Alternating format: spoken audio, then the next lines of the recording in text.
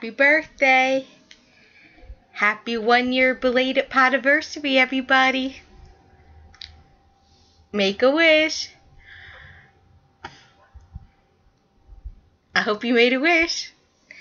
Welcome, welcome I, to my new and returning viewers. Thank you so much for checking me out if you're new. And as always, thank you so much for coming back again. If you not, I will explain why I was on a little three week hiatus. But thank you so much for coming back. I know it is, um, I'm like almost two weeks in saying happy podiversary. So I thought I'd do it now. I didn't have a cake. I only had a little Debbie cookie, so it's the thought that counts. Alright. Anyways, how is everybody? I hope you are good. I hope so. We'll jump into it. We got knitting going on. I got a little of this, a little of that. Not working on a whole lot, but we'll jump into it. Alright. Reason why I was on a hiatus. Let's see, last weekend would have been the th- the week of the 13th.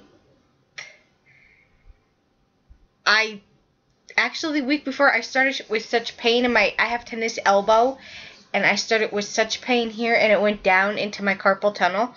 So for I'd say the last 2 weeks I honestly have not done really any knitting or crocheting because it has been absolutely painful and hard. I mean, I would wake up, my hand was so, it would hurt, it was swollen, my elbow was swollen and painful. My hand, my first four fingers would just go numb even out of the clear blue. I had, I wore a splint and an el, and a splint on my elbow, so I knew enough no knitting or crocheting. So since I didn't do anything, I was like, I didn't think it would be fair to you guys to record a podcast with no work I've done. I mean, if you guys are okay with if I have times where my tennis elbow or my carpal tunnel acts up that I can't knit or crochet, like during that week, if you guys are okay with me making a video like that, where actually I didn't do no work but just have works in progress. If you'd like me to do a video, I'll continue making videos even if I didn't work on anything new. Um, let's catch up. On Saturday, September 6th, I stated that I was going to the Endless Mountain Fiber Festival. No, I'm sorry, on the 7th. It would have been on a Sunday. I said I was going to the Endless Mountain Fiber Festival. I didn't get there. Wonk, wonk. I left here early in the morning around like 8.30, quarter to 9. Got, I'd say it was like at least a good two hours or an hour away from it yet. And my tire blew. I had to wait about 20 minutes for roadside service, which was wonderful. I'm going to give Geico a little prop here. Their customer service was wonderful, made sure I was safe told me the tow truck guy would call me before they left. I said with 10 minutes getting off the phone with them, the tow truck guy called me and said, I'm on my way. It's going to take about 20 minutes, give or take, because of construction. They were working on a Sunday. I said, okay. I said it was maybe about 15 minutes. It really wasn't 20 minutes, and he was there. Said, my tire blew. Here it wore down to the metal curtains on the tire. And wouldn't you know my luck, my donut on my car was flat. Taught me a lesson. Check my donut. And this comes a little too late because I love watching the domestic CEO. And I caught her podcast too late where she said for roads for road trip tips to check a donut or uh, any any tie like any type of spare tire to check it. I now since learned that. But the tow truck guy was wonderful. He followed me two miles up the road. He said I could drive on the donut, but go like 40 miles an hour in a 70. So I put my flashers on, and I, I felt like in I don't know like one of those people like that like to drive slow, looking around. Put my four ways on. He followed me two miles up up the road highway to the next exit. and he said if they don't have an air compressor, there's a gas station two mo- two miles up the road. At another exit, he said, "I'll follow you up there." Followed me to the first gas station two miles up the road. They had an air compressor, and he, the the tow truck guy comes to me and he says, "Oh, by the way, I didn't know it." He said, "But they sell tires. Maybe by chance they'll have a tire for you. If they don't, he said there's I think it was like 50, 60 miles away. He said there's a Sears Auto Center that's open to 8 and a Firestone that's open till like 5 o'clock. I said, thank you very much. I mean, guy was great. Reason he couldn't fill my donut is he didn't bring out a wrecker when he came to change my tire. He brought out a little pickup truck. He said, I bought my pickup truck because they said you just needed your tire changed. I said, well, had I known my, my donut was flat, I would have told you so you can bring the wrecker. Lesson learned. But anyways, this gas station, really, really, really great. I filled my tire up with air. Guy came out and said, I have a tire for you. Sorry, I heard my gram getting up and I'm going outside and I wanted to make sure she got out okay. Anyways, I was saying that the tow truck place, truck tow truck. The gas station that the tow truck guy took me to was they were excellent. My friend went with me and he goes, Well, I was filling the tire he said, let me check. And the people that were working there, it's a family owned gas station. The owner comes out, he says, Your lucky day, I have a tire to fit your car. He said, it, he said, tire $65 plus tax, mount, and balancing. I said, okay. Put it on. I said, but please check my other three tires. I said, if they need to be replaced, let me know, and I'll go right up to Sears and get them taken care of. I'd say within 15, 10, 15 minutes, he had my new tire on. For the new tire, mountain balancing, and Pennsylvania charges a tire tax. It came to $96.49, which I didn't think was too bad for a little mom, um, like a little mom and pop gas station. They were wonderful. Monday, I called my insurance company and I said to them how wonderful that both the tow truck guy was and how wonderful that the gas station was that he sent me to. In fact, I sent both of them a little thank you note.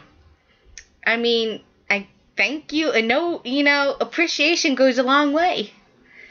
All right, so that was that. Moving on to the week of the 8th nothing exciting. I didn't do anything exciting.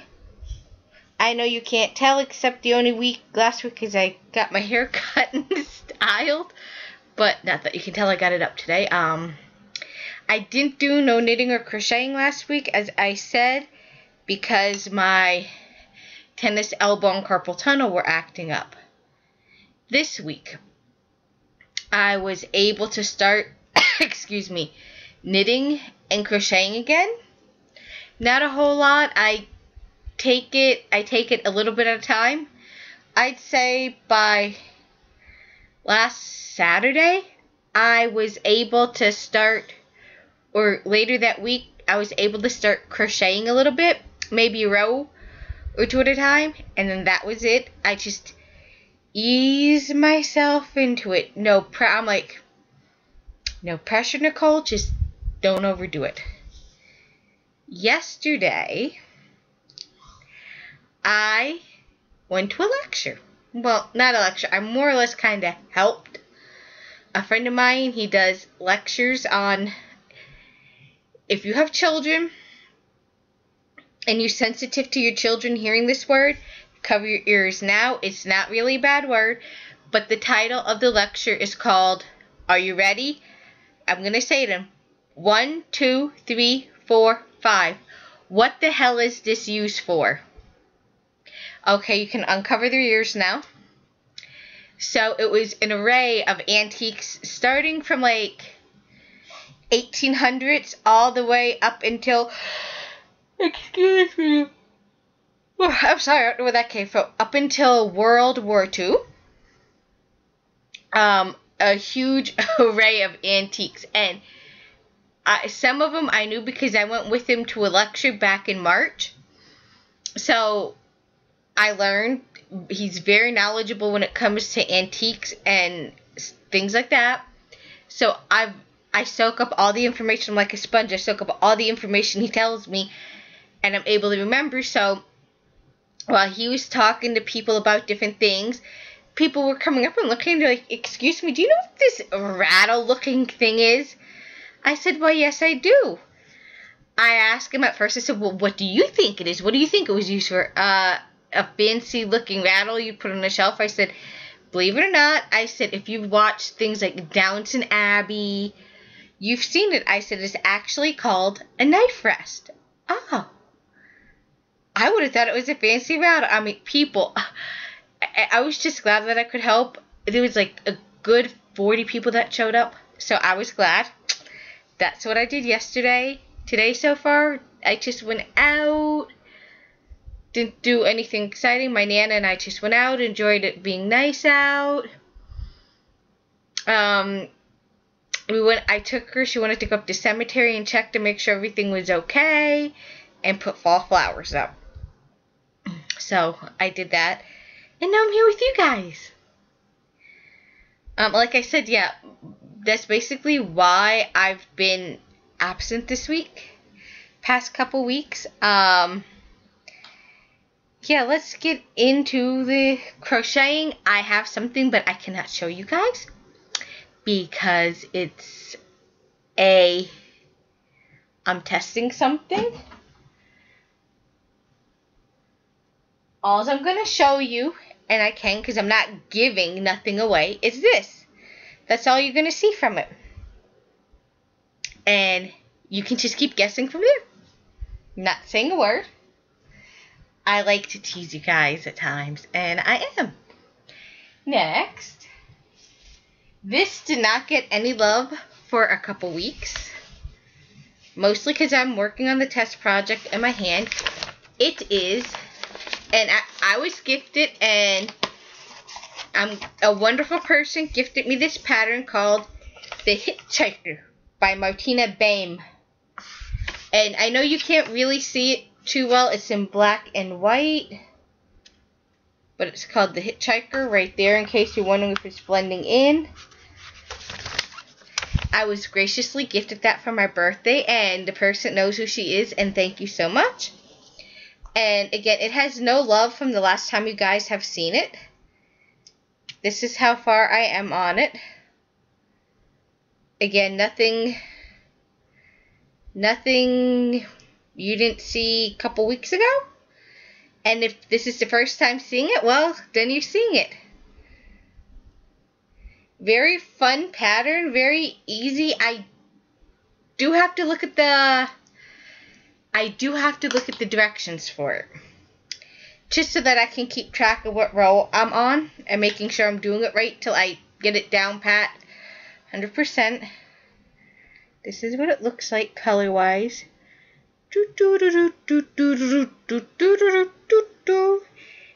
The yarn I am using is Red Heart, Heart and Sole. It's a sock yarn and the color is called Green Envy. I don't know why they call it Green Envy because it isn't all greens as you can see. So I don't know how they came up with the name Green Envy. I will show you a skein of it. It is called Green Envy. Here, here is the information. And here is what it looks like worked up into socks. I don't know why they call it green envy, but they call it that. I don't come up with the names, people. But I wouldn't have gone with green envy and it's being kept in my I Love Cupcakes bag because I love sweets. Um, My afternoon tea shawl has got zero Nort love. However, is it handy to show you guys? No, I don't have it handy to show you guys. Um, tell you, I'll tell you what else I'm working on. As I said, because I haven't been really working on anything. I am my afternoon tea shawl.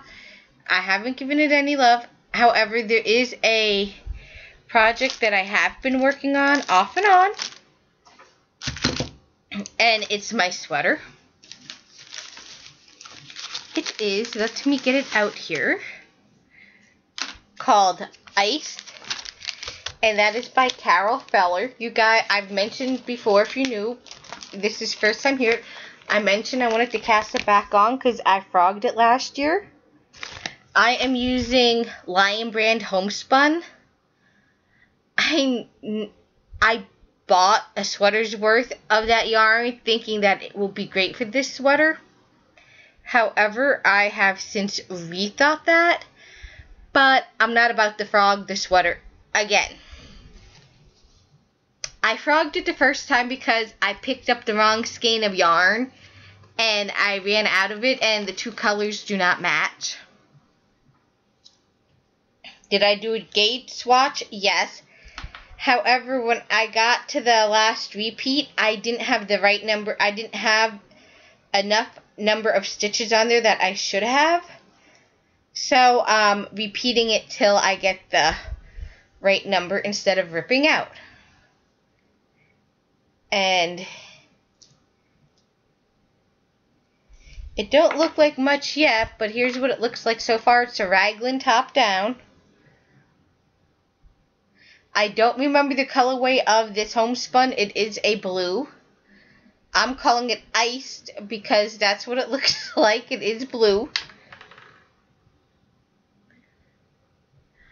Um, I don't know. I think maybe my gauge. Am I even showing you guys the right side? Yes, I am. I'm thinking my gauge because when my hand, my arm started hurting, my knitting got a little loosey-goosey. And then once it started feeling better, it got tighter. So you can kind of see the difference right in here.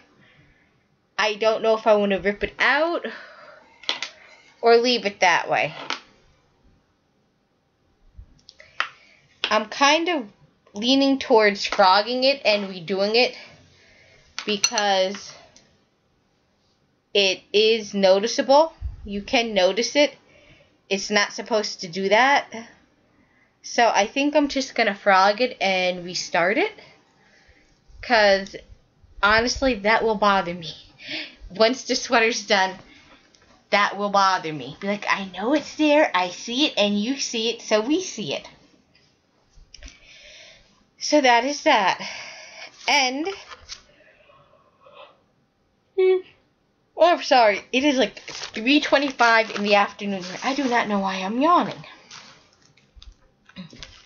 I was also recently graciously gifted another pattern by a very lovely person. I will not mention who, but they know who that she knows who she is.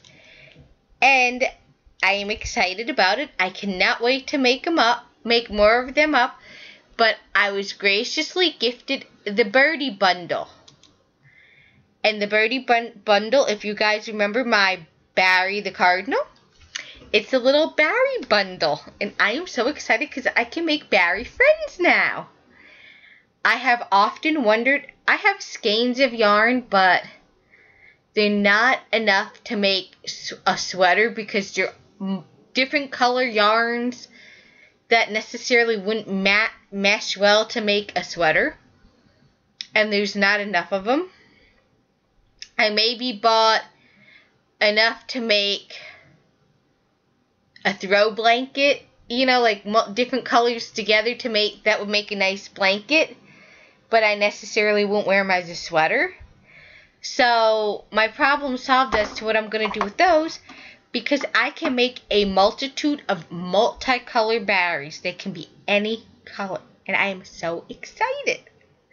So thank you very much for gifting me that. As I said, that is all my knitting and my crocheting I have done. I'm sorry, this podcast is probably going to be on the short side. I am going. Oh, I want to show you guys before I forget. Let me take this cookie off the plate. I went to what they call like the farmer's market or like antiquing and yard selling. I came across this cute little cup. I thought of Kay from the from the Bakery Bears and I thought of Molly from Homespun when I saw this, but I picked up this cute little cup. It was just a little single cup all by its itsy bits. Here's what the cup looks like. Very gorgeous. Not a chip. It said it was made in Japan. So I'm thinking this has to be after World War II, maybe? It's. The feel doesn't feel like it's new, new. Or maybe pre Japan, pre war?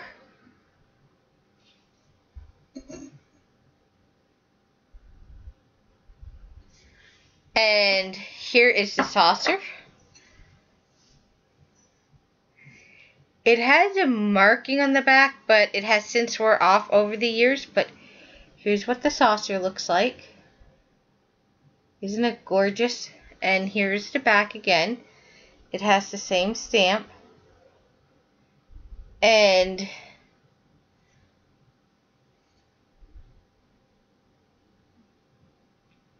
there's whatever was there that came off. I don't know what it was. I paid, and I'm not afraid to admit it, I only paid for this cute little cup and saucer set a dollar fifty. I thought it was worth it. I looked at it and I said, I'm going to give you a good home.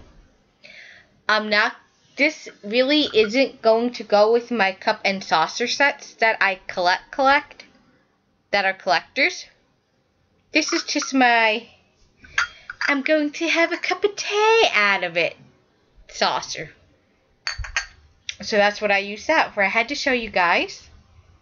It's just gorgeous. Next. I actually, when I was out, I don't normally talk too much about like my nail polishes and all. But for you ladies and maybe some guys that watch me that paint your nails, I saw Sally Hansen has this stuff called Miracle Gel. No light needed. Up to 14 days of color and shine.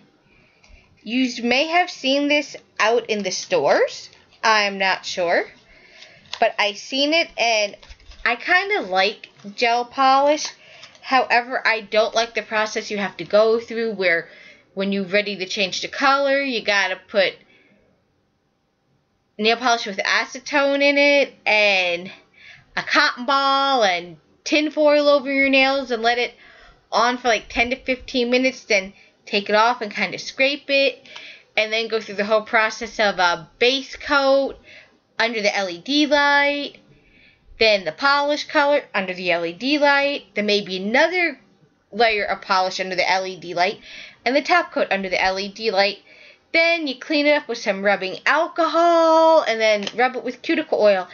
It dries your nails out. If you've ever had it done more than once, you know what I'm talking about. So I saw this and I figured I'd give it a go, Joe. And this this is what it looks like.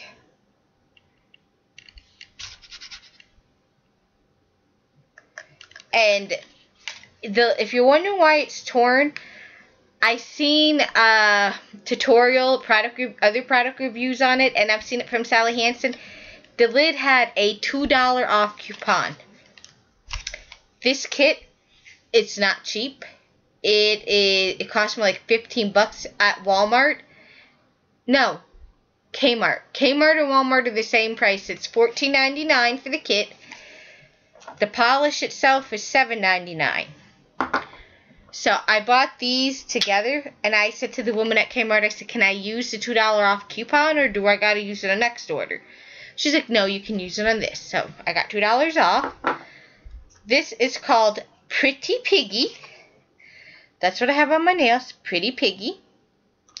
It comes with that, and it comes with the gel activator. It says no base coat needed, so I followed the directions. And this color is called Birthday Suit. I think it's cute. I have a polish similar to this called Skinny Latte. But I wanted to share it with you that you like your nail polishes and you like doing your nails. This is pretty good. I've heard mixed reviews of it. But I painted my nails on Friday night.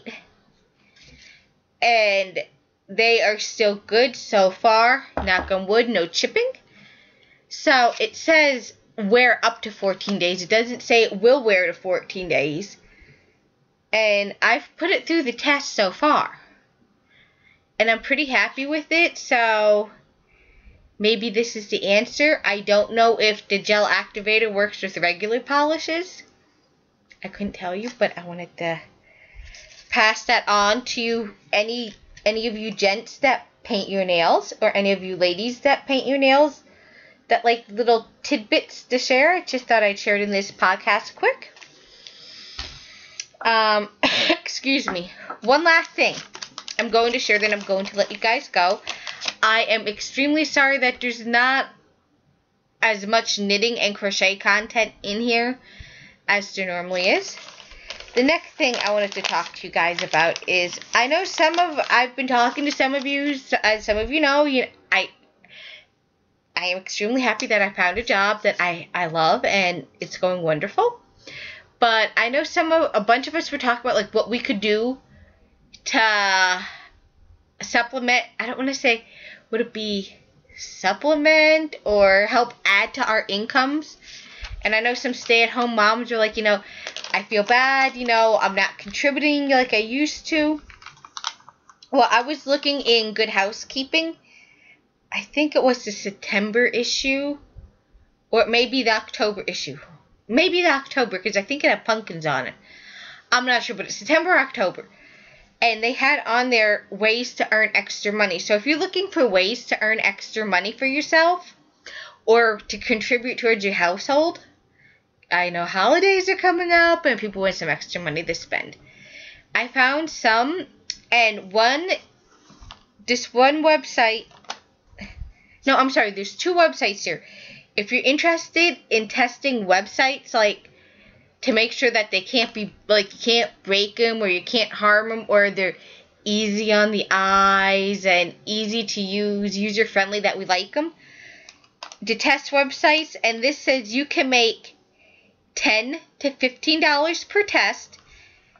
And it's called usertesting.com. One word. U S E R T E S T I N G dot com. And the other one